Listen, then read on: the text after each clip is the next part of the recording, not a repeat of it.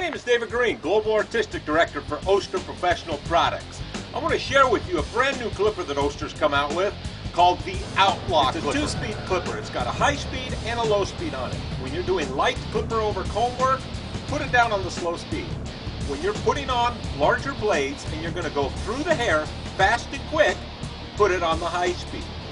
You want to be able to just rip right through the hair. Comes with this 3-0 blade on it. There are 14 blades made that fit the Outlaw Clipper.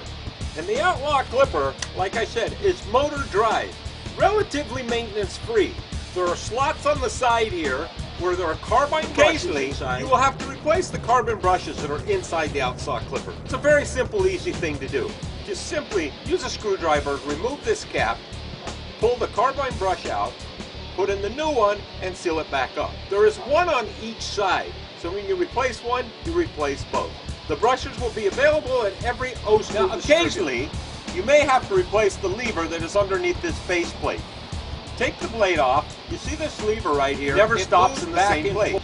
After a period of time, a couple of years of use probably, you may have to replace this lever. It's a very simple, easy thing to do. You're going to get a little tool in with the Outlaw box when you get it. Keep this little tool.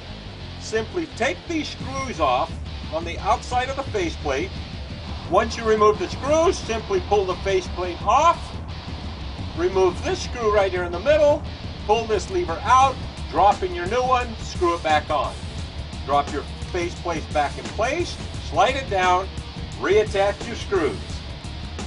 Once your screws are reattached, tighten them down, grab your blade, drop it in place, and you're ready to go.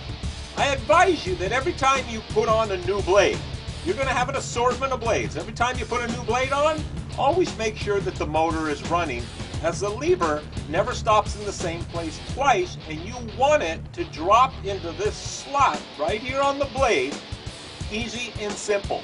If the lever is moving back and forth, it drops right in, no problem. Slap it on, and you're good to go. Keep your blades oiled. Every time you go to use your blade, pick up your oil, put three drops of oil on it. One on each side, one in the middle.